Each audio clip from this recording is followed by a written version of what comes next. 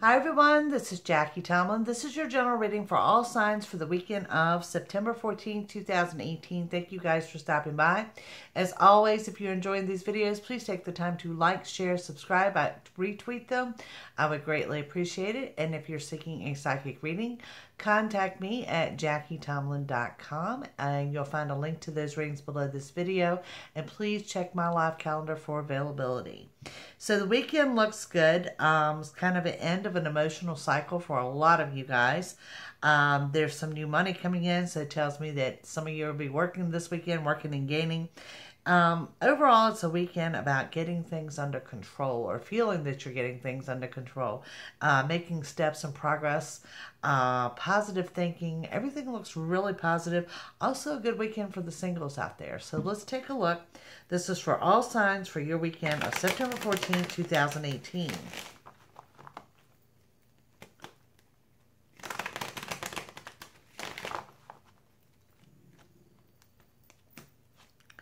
Okay, we start with the Nine of Wands, followed by the Six of Pentacles, the Nine of Cups, the Eight of Swords, the Queen of Wands, and the Knight of Swords. Let me break this down for you guys, and I'm going to pull you three more. Nine of, nine of Wands doesn't indicate obstacles so much as it indicates that anxiety is a little high and that you're feeling a little bit overwhelmed. And like I said, this is a weekend about getting things under control. So whatever you're feeling overwhelmed with, this is definitely a weekend to address it and not put it off.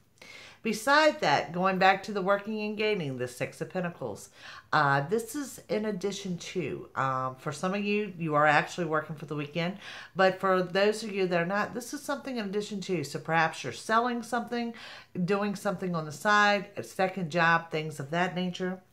And then next to that, we have the Nine of Cups. The Nine of Cups is what I kind of call the fat happy cat. It's just total and complete happiness and contentment. So it looks like you're going to overcome this anxiety and being overwhelmed fairly quickly. And some of that, for a lot of you, it could be involving money, that there's money coming in to take off some of that relief.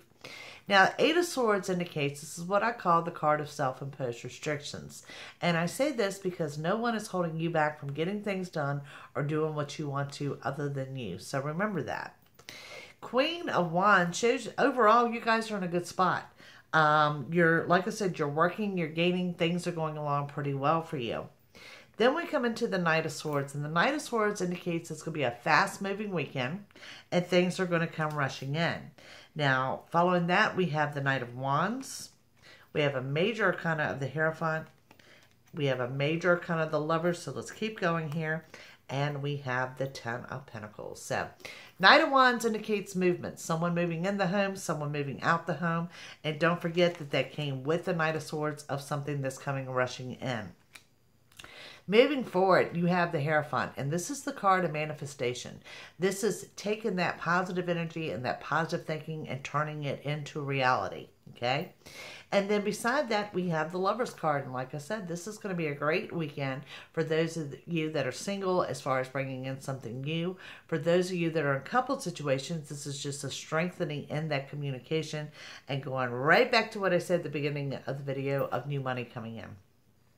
Ten of Pentacles, indicating the highest money card in the deck. So definitely a good financial weekend.